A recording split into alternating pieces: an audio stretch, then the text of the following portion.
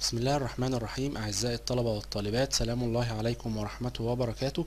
النهاردة إن شاء الله هنشرح مع بعض درس بعنوان قيم إنسانية.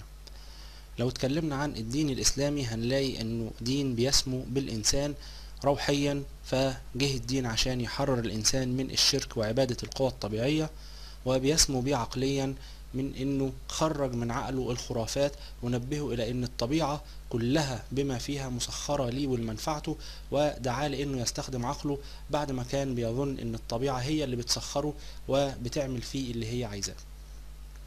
وسمى الإسلام بالإنسان اجتماعيا فهيأه لحياة اجتماعية عادلة أساسها البر والتعاون تعاون الرجل مع المرأة في الأسرة الصالحة تعاون الرجل مع أخيه في المجتمع الرشيد. لو جينا نشوف القرآن الكريم وإزاي يبين سمو الإنسان في أكثر من موضع هنلاقي إن ربنا سبحانه وتعالى خلق الإنسان في أحسن تقويم وسواه وعدله وركبه في أحسن صورة وربنا سبحانه وتعالى سخر له كل ما في الطبيعة وفضله على كثير من خلقه تفضيلا. والآية الكريمة بتقول ولقد كرمنا بني آدم وحملناهم في البر والبحر ورزقناهم من الطيبات وفضلناهم على كثير ممن خلقنا تفضيلا وليس أدل على ذلك من أن ربنا سبحانه وتعالى جعل الإنسان خليفة ليه في الأرض كما قال في كتابه العزيز وهو الذي جعلكم خلائف الأرض كمان الإسلام خلى الطبيعة مسخرة بكل ما فيها لخدمة الإنسان يعمل الإنسان عقله في الطبيعة بدل ما يشعر إن هو مسخر ليها والطبيعة بتتقاذفه كما تهوى وربنا وهبه الخواص الذهنية والعقلية اللي يقدر من خلالها إن هو يحول كل عنصر من عناصر الطبيعة عشان يخدمه لأنه خليفة الله في الأرض وكل ما في الوجود تحت سيطرته. كمان الإسلام جه وكان الاستعباد متأصل في جميع الأمم فقاوم الإسلام حركة الاستعباد بكل الطرق مؤكدا على حرية الإنسان وكرامته وانتهج الإسلام طرق عديدة للقضاء على الرق وكان منها أولا دعا الإسلام إلى تحرير العبيد من الرق ورغب في ذلك ترغيبا واسعا. ثانيا جعل كفارة بعض الذنوب في الدين هي تحرير الرقاب. ثالثا إدى العبد الحق في إن هو يكاتب مولاه يعني إنه يتفق مع سيده على إنه يشتري حريته مقابل مبلغ من المال يكسبه من عرق جبينه. كمان حرم الإسلام بيع الأمة لو استولدها سيدها يعني خلف منها ولو مات سيدها ترد إليها حريتها. وأخيرا جعل الإسلام أبناء الإماء أحرار كآبائهم كمان هنلاقي إن الإسلام ضمن حرية الدين فقال تعالى لا إكراه في الدين وقال أيضا ولو شاء ربك لآمن من في الأرض كلهم جميعا أفأنت تكره الناس حتى يكونوا مؤمنين؟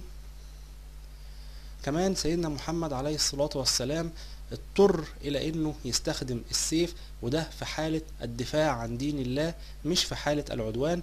ربنا سبحانه وتعالى قال وقاتلوا في سبيل الله الذين يقاتلونكم ولا تعتدوا إنه لا يحب المعتدين. كمان هنلاقي إن الإسلام دعا في أكتر من آية إلى السلام فربنا سبحانه وتعالى قال وإن جنحوا للسلم فاجنح لها وتوكل على الله وقال أيضا يا أيها الذين آمنوا ادخلوا في السلم كافة ولا تتبعوا خطوات الشيطان وكمان الإسلام جعل تحيته الأساسية هي السلام عليكم. وهنلاقي كمان إن الإسلام ضرب المثل الأعلى في التسامح مع الأمم المغلوبة في السلم والحرب فالرسول عليه الصلاة والسلام جعل من الأمور الواجبة على المسلمين في حروبهم إن هم ما يقتلوش راجل كبير في السن ولا طفل ولا امرأة. وكمان كان بيعاهد نصارى نجران وأمر إن كنايسهم ما تتمسش ولا يحصل فيها حاجة وإنها تترك ليهم حرية ممارسة شعائرهم الدينية فيها ولا يكرهوا على دخول الإسلام. هنلاقي إن السبب في انتشار الإسلام التعاليم السامحة اللي جه عشان ينشرها مش السيف زي ما بعض الأمم بتقول أو بعض من لهم مصالح بيقولوا. الإسلام كفل وضمن لكل اللي عاش في ظله مش لأتباعه بس كفل لهم الحرية والكرامة. فالإسلام كان هدفه وحدة النوع الإنساني الوحدة دي اسمها العدل والرخاء والسلام. لو جينا للتدريبات القطعة بتقول بتقول ووسع الإسلام حقوق الإنسان واحترامها في الدين إذ نصت آية كريمة على أن لا إكراه في الدين فالناس لا يكرهون على الدخول في الإسلام بل يتركون أحرارا وما اختاروا لأنفسهم. سؤال ألف هات مرادف يكرهون ومضاد أحرار. سؤال ب ضرب الإسلام أروع مثل للتسامح الديني أي ذلك بما تعرفه من أمثلة في التسامح الديني في الإسلام. سؤال ج لما اضطر الرسول إلى امتشاق الحسام؟ لو جينا الإجابات هنلاقي إن مرادف يكرهون يعني يجبرون ومضاد أحرار عبيد. أما بالنسبة للإسلام وكيف أنه ضرب المثل الأعلى في التسامح فالإسلام تعامل مع الأمم المغلوبة في السلم والحرب بشكل فيه تسامح كبير جدا. وهنلاقي أن الرسول عليه الصلاة والسلام أوجب على المسلمين في حروبهم إن هم ما يقتلوش راجل عجوز ولا طفل ولا امرأة. وكان في عهد بينه وبين نصارى ونجران وأمر إن كنايسهم تبقى على ما هي ولا تمس وإنهم يتركوا يمارسوا شعائرهم الدينية بحرية ولا يكرهوا على الدين. سؤال جيم اضطرار الرسول إلى إنه يستخدم السيف ده ما كانش للعدوان بل كان دفاعا عن دين الله. قال تعالى وقاتلوا في سبيل الله الذين يقاتلونكم ولا تعتدوا إنه لا يحب المعتدين. بكده نكون انتهينا بفضل الله من شرح الدرس وحل تدريباته. أسأل المولى عز وجل أن ينفعني وإياكم بالعلم النافع والعمل الصالح وأن يجعل هذا العمل خالصا لوجهه الكريم. كان معاكم أستاذ هيثم